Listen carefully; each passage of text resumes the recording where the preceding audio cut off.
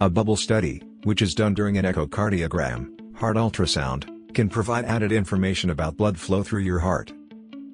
Doctors often do bubble studies on people who experience an unexpected stroke, that is, those who have no obvious stroke risk factors, such as high blood pressure or atrial fibrillation. The results can provide clues about a possible cause and may affect the treatment you receive. During the test, a technician injects a solution into a vein in your arm.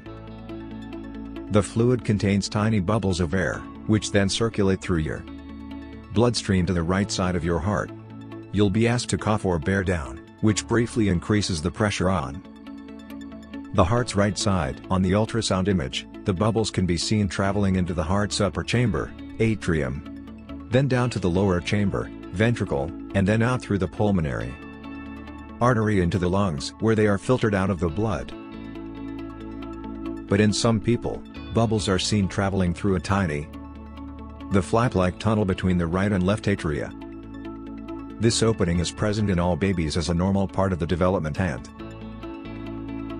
usually closes up within a few weeks of birth.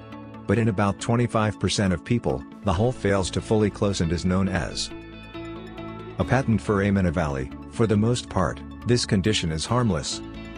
And most people with a PFO don't know they have one. However, some PFOs may be responsible for certain rare strokes, which are thought to happen when a blood clot travels between the right and left atrium. Because the clot bypasses the lungs, which trap tiny clots before blood recirculates through the body, it can travel to the brain, lodge in a blood vessel, and cause a stroke.